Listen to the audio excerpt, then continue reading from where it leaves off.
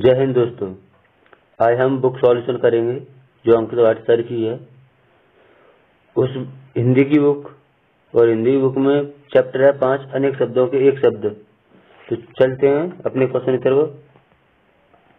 ये उदाहरणों में, जो किसी बस में बराबर चलता आया है, उसका एक शब्द होगा अनुवांशिक। आभार मानने वाला, आभारी होगा, धन से संबंध रखने वाला। आर्थिक होगा, और जिसे मालिक ने छोड़ दिया हो, या स्त्री हो, या कोई भी हो सकता है, जिसे मालिक ने छोड़ दिया हो पारिताप्त केवल फल खाकर रहने वाला फलारी होगा। सूर्योदय से पहले दो घड़ी तक पवित्र समय, ब्रह्म मुहूर्त, मन और उसकी अवस्थाओं तथा क्रियाओं का अध्ययन करने वाला शास्त्र, मनोविज्ञान धरती और आकाश के बीच स्थान, अंतरिक्ष। मन में होने वाला स्वाभाविक ज्ञान, अंतर्ज्ञान, जिसके समान कोई दूसरा ना हो, अद्वितीय, आवश्यकता या उचित मात्रा से अधिक खर्च करने वाला, अपव्ययी, जो पुरुष अभिनय करता हो, अभिनेता, जिसमें सामर्थ्य न हो, असमर्थ अहंकार पूर्वक अपने को सबसे बढ़ाकर समझना सामान्यता सर्वाधिक संपन्न शासक या अधिकारी, अधिनायक, जिसका वचन द्वारा वर्णन न किया जाए अनिर्वचन चलते हैं, किसी मत का सर्वोत्तम परिवर्तन करने वाला आदि आदि से लेकर अंत तक, अधोपांत, जिसने, जिससे बढ़कर ऊँचा कोई ना हो, उच्चतम जिसका मन उदार हो।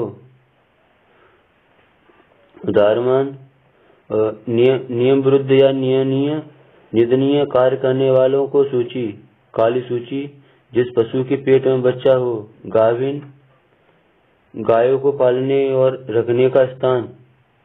गौशाला, घृणा करने योग्य, घृणास्पंद, ज्ञान देने वाला ज्ञान ज्ञानदा घर घर जाकर लोगों की डांक पहुँचाने वाला कर्मचारी डाकिया बहुओं के बीच का ऊपरी भाग, त्रिकुटी। ये बहुओं के बीच का भाग होता है ना, इसे इसे त्रिकुटी कहते हैं, त्रिकुटी। हर तीसरे महीने होने वाला त्रैमासिक होता है, जो तीन महीनों बाद होता है, वो त्रैमासिक और छह महीने बाद छह माही होता है और साल वो वार्षिक कहलाता है। हर तीसरे महीने बाद त्रैमासिक, जिसमें शब्द ना हो, निशब्द एक देश से दूसरे देश में माल भेजना निर्यात होता है। अपने देशों से हम दूसरे देशों में माल भेजोगे तो निर्यात है, और दूसरे देशों से अपने देश में लाओगे हम तो आयात होगा। पिता का पिता पिता और पशुओं का सा या पशुओं के आचर जैसा पार्श्विक प्रयोग में लाने योग्य हो, प्रयोजनीय।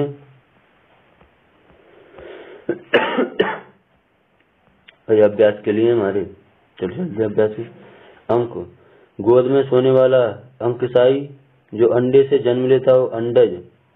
मन में अपने आप उत्पन्न होने वाली प्रेरणा अंत प्रेरणा गुरु के साथ या समीप रहने वाला छात्र, अंत्यवासी।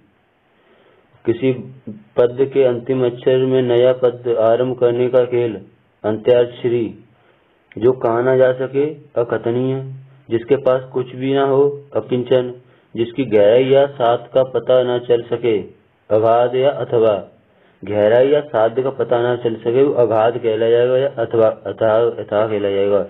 आंतों में होने वाला आंतरिक आकाश को चूमने वाला गगन चुम्बी अग्नि से संबंध या आग रखने वाला, आग का आग्नेय, अतिथि की सेवा करने वाला अतिथेय दूसरों के सुख के लिए अपने सुखों का त्याग तो आत्म सर्ग हो जाएगा।